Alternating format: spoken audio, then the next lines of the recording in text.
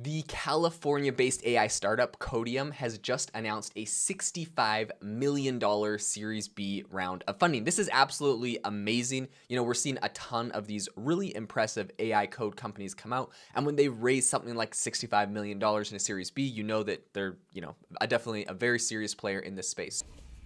Oh. This current funding round, they're actually valued at $500 million, you know, half a billion dollars. What I think is really interesting here is the investment firms Kleiner Perkins um, actually led this investment round. This is, you know, a top tier uh, venture capital firm. Um, and they also had some participation from Greenoaks and General Catalyst, some more uh, really solid venture capitalists that are backing this. So Codeium is going to use this new capital, all the money they've just raised to, uh, they're doing a couple things. Number one, they're going to grow their team. You want to join my crew? They're going to expand their AI powered coding toolkit. This is something that I thought was absolutely amazing. Um, Codeium's toolkit currently writes over 44% of newly committed code for over 300,000 developers. This is absolutely insane.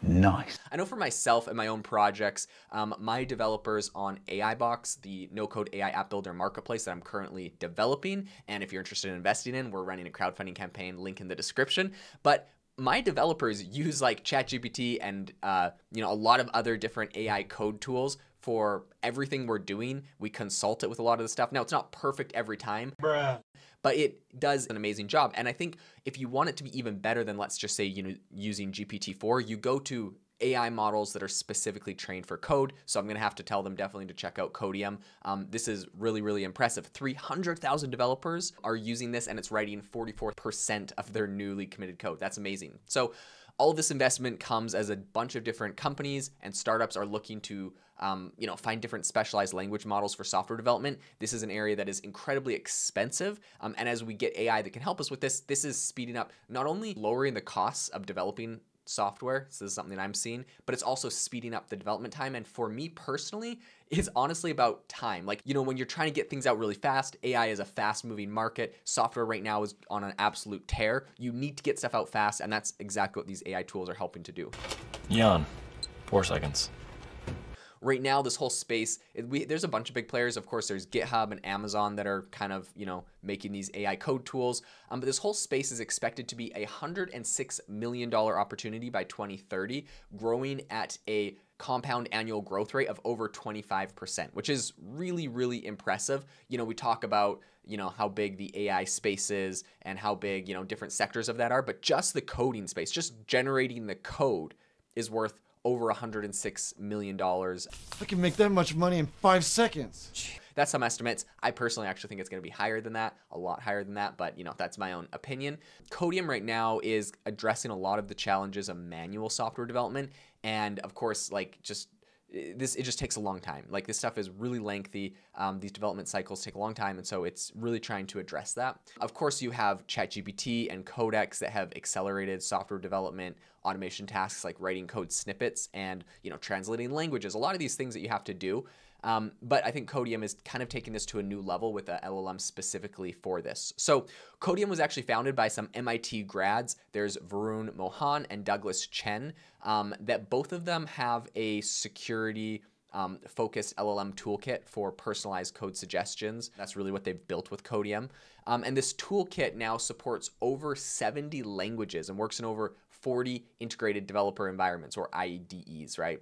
Um, so this is incredible to me. 70 languages are supported there. So it's not just like something that people are using in America or in English. This is all over the world. This is going to have some major impacts. So Codeium can be self-hosted um, or it can be deployed on a SOC 2 type um, 2 compliant SaaS, which I think is important, right? Because when you're when you're using these for your own projects, you can self-host this. It's not that big of a deal.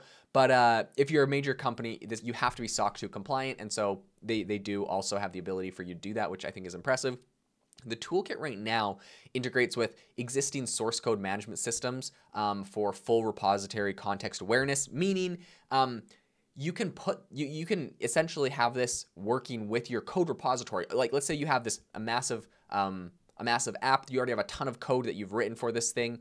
It, it can look at all the code in your co- own personal code repository and make sure that what it's writing is um, is working with that. It's in the same style as, you know, different coders have different styles and, and different ways of formatting things. So it's able to follow all of that. Um, and I think that's really, really impressive, but also important. So Codeium claims to own the hardware layer for large scale AI workloads keeping costs lower than a lot of the industry competitors.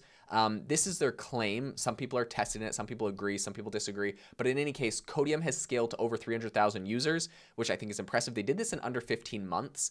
And um, I think that really this is kind of the future of where we see these go, these specialized AI models that do something very specific like coding. So Codeium's AI toolkit has been used by companies like Atlassian, Anduril, Clearwater Analytics, and a bunch of other Fortune 500 firms. So this is being used by some serious players. Um, the toolkit right now offers a free individual um, version and then they also have a business centric version um, which starts at $12 a user per month which honestly is really not that expensive when you see like okay $12 a month is actually incredibly cheap when you say when you say this thing can generate 44% of someone's new um, pushed code, right? Like you're paying these people 100,000, 200,000, 300,000. I have friends making over $400,000 a year as developers. Um, and for $12 a month, you could theoretically augment them by 44%, like this is a no brainer. This is not even a cost, it's free, right?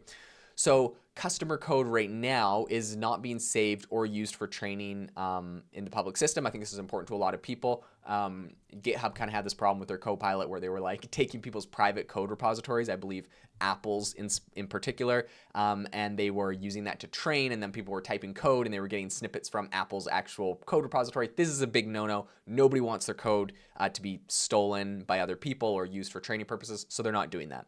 With this current Series B funding round, um, Codeium is planning essentially to grow its engineering and sales teams and then to expand its platform overall. So the goal is to cover every stage of the software development lifecycle. So that includes system, design, um, code maintenance, and then of course fixing security vulnerabilities, which is really important. So Codeium is right now um, aiming to make developers 20% more productive, and their vision is to increase productive productivity by 20x in the future. So really, really impressive, but I think they're already off to an amazing start with this. So there's a bunch of other players um, that are currently in this same space. You have Replit, GitHub Copilot, SourceGraph, um, Amazon SageMaker, Google's AlphaCode. There's a bunch of other players, but right now Codeium is doing an incredible job, and I tend to root for you know the the underdog not owned by a trillion dollar company aka amazon google microsoft. So i'm really hoping that um, they're able to make uh, some impressive strides in the industry. I'll definitely keep you up to date but overall a very impressive series b and a huge congratulations to the entire team over at codeium